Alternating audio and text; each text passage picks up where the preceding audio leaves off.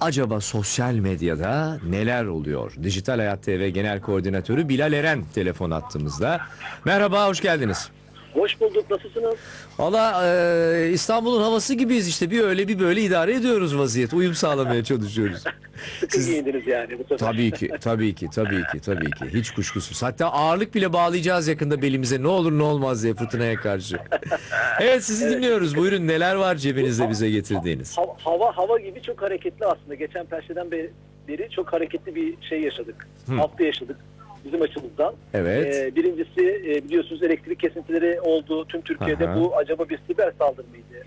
Bunun üzerine çok konuşuldu. İkincisi de e, Twitter, Facebook, Google Plus, YouTube gibi hesaplar kısa süreliğine de olsa tüm Türkiye'de kapatıldı. Hı hı. e, nedenlerinden dolayı. Bunlar çok konuşuldu üzerinde. Neden kapatıldı, neden engellendi gibi e, Hı hı. nedenler araştırıldı, yetkililerden açıklamalar yapıldı. İşte bu Erişim Sağlayıcılar Birliği Genel Sekreteri Bülent Kent'in açıklamaları var. O açıklamaları ben çok bazı medyada kuruluşlarında yer aldı ama bu çok önemli bence. Bunu söylemeye başlamak istiyorum. Hani neden kapatıldığına dair. Hı hı.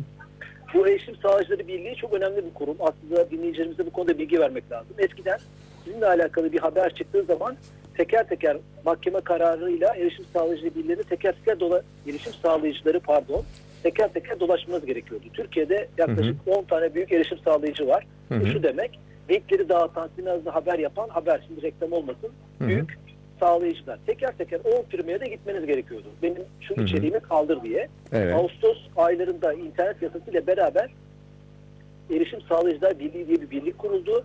Siz direkt buraya başvuruyorsunuz tek merciye, tek merkeze ve onlar sizin adınıza bu 9 tane ve küçüklü, irili ufaklı belki yüze yakın şirkette görüşüp e, içeriğinizin linklerini Google'dan kaldırıyorlar. Hı hı. E, yani bu çok önemli bir kuruluş. E, Evet. e, kısa bir açıklama yapmakta fayda var. E, Erişim Sağlayıcılar Birliği ne demek? Bu Erişim Sağlayıcılar Birliği Genel Sekreteri artık bu içeriklerle alakalı işleri bunlar baktığı için açıklama yaptı. Bülent Hı hı. Kent Bey Hı hı.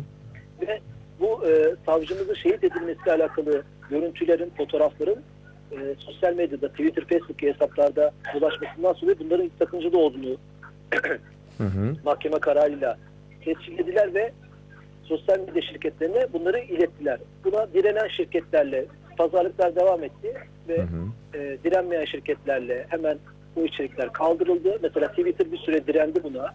E, Hı hı. e, daha sonra e, o iletişim ve diplomasiyle beraber o içerikler kaldırıldı hesaplardan Hı ve hı. o hesaplar kapatıldı ve tekrar e, Twitter açıldı. Bu konuda ilginç bir açıklaması var e. Bülent Kent'in. E, Twitter, Facebook, YouTube gibi sosyal paylaşım siteleri mahkeme kararı uygulaması ile ilgili değerlendirmede bu şirketlerin Türkiye'deki avukatlarla yakın çalışıyoruz, bize yardımcı oluyorlar. Hı Bu hı. konuda da memnunuz diye bir açıklama yapıyor. Hı hı. Bu, bu haberle başlamış olduk. Hani neden bu Evet, engellemeler oldu bilinmesi anlamında. Evet. Ee, Twitter kullanıcılar için bir müjde geldi. Biliyorsunuz 140 karakter e, sınırlaması var e, Twitter'da. Tweetinizde 140 karakterle atacağınız içeriği 140 karakterle sınırlandırıyor. Fakat pardon retweet için yani beğendiğiniz bir içeriği retweet etmek için e, üstüne yorum yazamıyordunuz. Şimdi bu, karak, bu retweet'e de yorum yapmak mümkün oldu. Ve böylece e, e, yeni bir özellik gelmiş oldu. Evet. Ee, güzel bir haber daha var Türkiye Yazma Eserler Kurumu'ndan. Türkiye'de bu konuları merak edenler işte aralarında İbn Sina, Gazali, Sultan Üçüncü Murat gibi ilim ve düşünce dünyamızın önemli birçok hı. şahsiyetinin eserlerine erişmek için ekitap.yek.gov.tr adresini ziyaret etmek yeterli. Hı hı. Buradan e, bu eserleri, yazma eserlerin e-kitaplara ulaşabiliyoruz. Evet. Özür diliyorum. Ben de o soğuk algı Bu havalar sizi de etkilemiş görünüyor. Beni de Evet. etkilemiş durumda evet. Yarın önemli bir konuyu TRT Radyo'da işleyeceğiz. Hı hı. Ee, Tüketici Derneği Emlak Komisyonu Başkanı Sayın Hatice olacak. TRT Radyo'da saat 15'te konuğumuz olacak ve Hı hı. internette e, emlak sektörünü konuşacağız. Hı hı. Ev ararken en çok neye dikkat ediyoruz? Hı hı. Konusunu konuşacağız. hı. Böyle bir haber verebiliriz. Hı hı. Tekrar özür diliyorum. Estağfurullah. Ee, diğer bir diğer bir haberimiz şu. Ee, iki tane e, panel haberimiz var. Bu konulara ilgi duyanlar için. Bir tanesi Hı hı, Şehir hı hı. Üniversitesi'nde. Hı hı. Şehir Üniversitesi İletişim Fakültesi'nde 13 Nisan'da e, dijital ekosistemin insanları isimli üreticiler, tüketiciler ve yoksullar konusu ele alınacak. Hı hı. Bu, bu, bu panelde e, Makers Hareketi öncüsü Zeynep Karagöz, Hı hı. e, Nermin Canik, Aslı Telli Hoca ve Yalçınları Hı hı. konuşmacı olacak ve e, dijital e, ekosistemde BG özgürlüğü ve Hı hı. bu, bu konular üzerine konuşulacak. Hı hı. İkinci şey de sosyal medya zirvesi olacak. Şişli Kent Kültür Merkezi'nde 24 Nisan'da Hı hı. sosyal medyanın e, ilişkin hukuki süreçler ve sosyal medya sosyoloji konuşulacak. Bunun Evet. katılımları ücretsiz olduğu için bu Hı hı, konulara hı hı. ilgi duyanlar katılabilirler. Evet.